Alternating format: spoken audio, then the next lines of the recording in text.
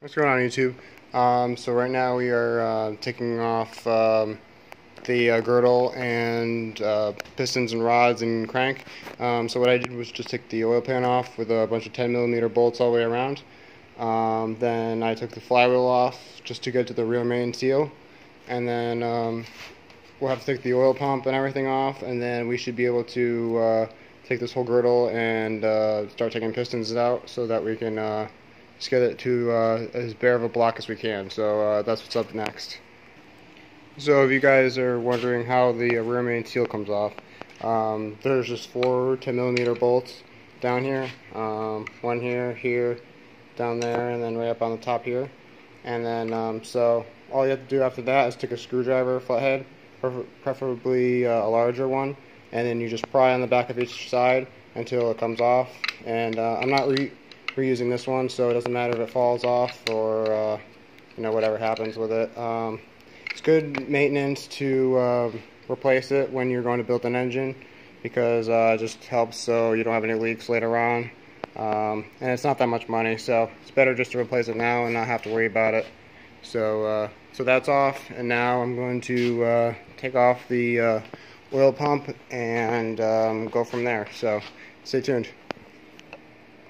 Alright guys, um, so the uh, oil pump is off, so um, there was just a couple, uh, I think about six 10 millimeter bolts here on um, the side of the engine, and then there was just the oil pump, um, like sucking tube um, that bolted here, and there's two here. I just took it off.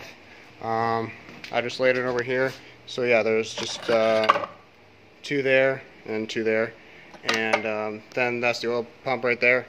Uh, came off with about 10, mil 10, 10 millimeter bolts and then so now uh, I can just take the uh, girdle off and the crank will be exposed so uh, that's what's uh, going on next.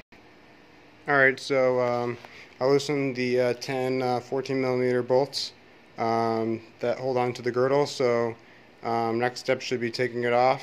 Um, they are pretty tight so you want to kind of hold something or make sure that the stand doesn't move because um, yeah they are torqued pretty good so just letting you know. Alright um, so the girdle's out. Um, I uh, just went ahead and uh, took the pistons and rods out. Um, it's good to uh, you know keep them all with the right uh, obviously the right rod and uh, just keeping everything organized. Just makes life easier. Um, even though I'm not using these pistons anymore it's just good to keep them you know, so you could see what you have and uh, what you don't. Um, so now I'm just going to remove the crank and uh, probably see if there's any little brackets that I missed, and then um, this will be it for the disassembly. Alright, so uh, the block is 99% um, disassembled. Just got to take the bearings out. Um, and I got to uh, just take the sensor out.